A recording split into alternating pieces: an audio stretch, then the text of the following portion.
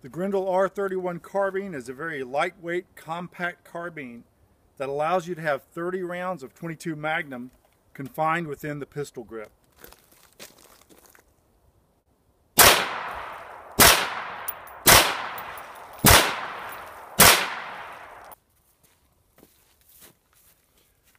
Hey guys, this is Mike mbell 556 and today we're going to look at the Grendel R31.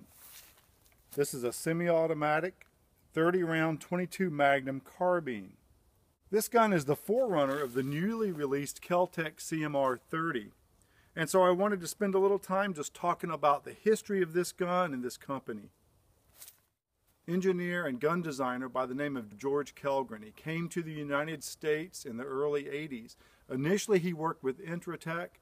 He did design work for them and then he left Intratec and started his own company, Grendel Incorporated, in 1987. Now, one of the things that he introduced to us was this Grendel P30.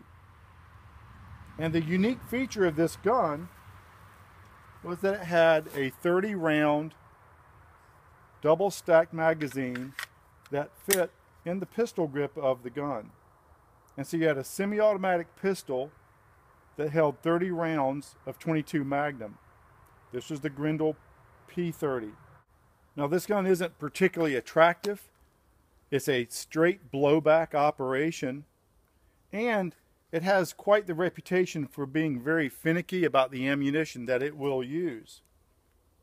This gun was introduced in about 1990 and unfortunately the unconstitutional Clinton assault weapons ban and high capacity magazine ban went into effect in 94 and this company whose main calling card was this high capacity 30 round magazine went under shortly after that.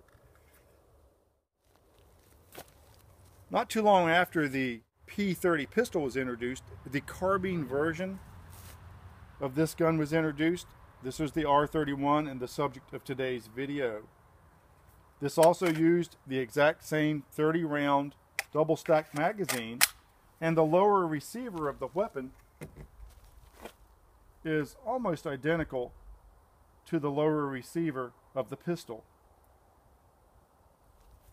Now this gun, like we said, is essentially the forerunner of the Keltec CMR 30 that's just been released. This gun is also a straight blowback operation. But because it's a carbine, it has a much heavier bolt.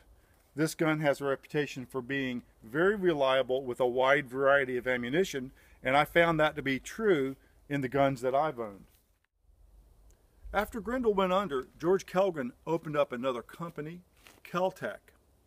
And initially, during the assault weapons ban, they concentrated on either small handguns that didn't need a high capacity magazine or they did develop several carbines that used pre-existing high-capacity magazines. Then, after the expiration of the assault weapons ban, he already had experience with the 22 Magnum 30-round magazines, and he introduced the Keltec PMR. This is another 22 Magnum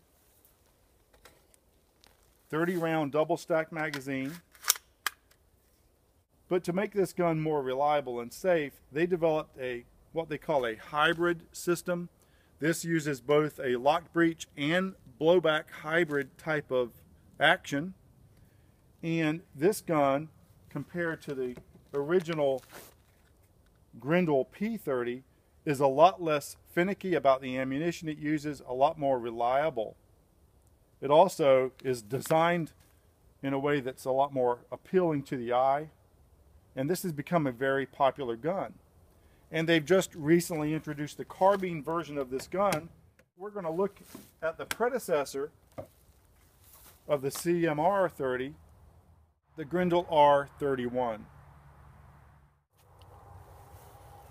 So Grendel started with the gangly looking P30 when they hit the market with their 30 round high capacity magazine. Now, the new Keltec magazines are different. They are not interchangeable with the Grendel magazines. So the P30 was a 30 round magazine that had a straight blowback, was not particularly reliable and was very finicky about which kind of ammunition it can use. What I found is this gun is a lot of fun and is very reliable with 40 grain full metal jacket and just about anything else does not run reliably in this gun. Now the R31 carbine is a much more reliable weapon. There's a lot more mass in the bolt, which makes the cycling of the 22 Magnum a lot more reliable in semi-automatic. This is a very light carbine. We're going to look at this. I'm really curious how the mechanism of this carbine compares to the new Keltec CMR. We'll have to look at that when we can get our hands on one. The shell that covers the mechanism of this gun is in two halves. You remove it by loosening up the nut in the front of this gun and then sliding the halves forward. You can see they just come off and they're really very thin, lightweight, and just really serve to uh, protect your hands from the hot metal and uh, protect you from the smoke and powder but they're very lightweight. And then the gun itself has a large bolt. The stock extends. And I think we'll actually be able to fire this gun with these uh, halves off. I wouldn't recommend that. We're going to keep our face away from the mechanism as we do this, but that'll uh, allow you to see the operation of the gun as it's being fired. Basically what this lacks compared to the new CMR is the extruded aluminum body with the rails as compared to this fairly light cheap plastic covering that goes on this gun. So let me go over the field stripping and disassembly of this gun. You need to remove the outer casing the recoil spring and rod are held to the rear of the receiver. Comes out very easily. Bolt comes back. The bolt comes out of the receiver by rotating the bolt and then lifting it out of the receiver. And basically at this point the gun is field stripped. Very simple design.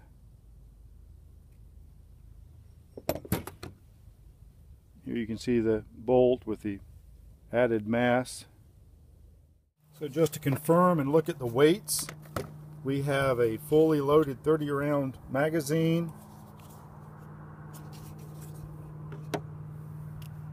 And the magazine with 30 rounds of ammunition weighs in at 5.8 ounces. We'll put the magazine in the carbine and then the carbine with a scope and a loaded magazine, four pounds and nine and a half ounces.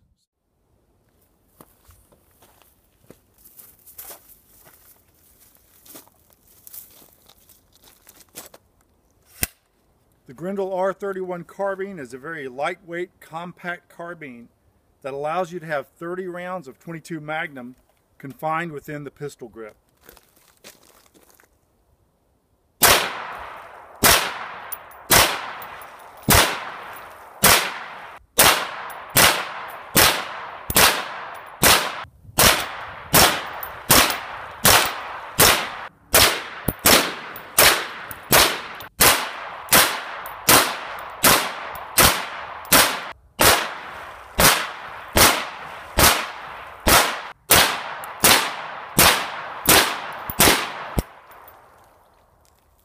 The Grendel R31. It's the vintage forerunner to the new CMR 30 by Keltec.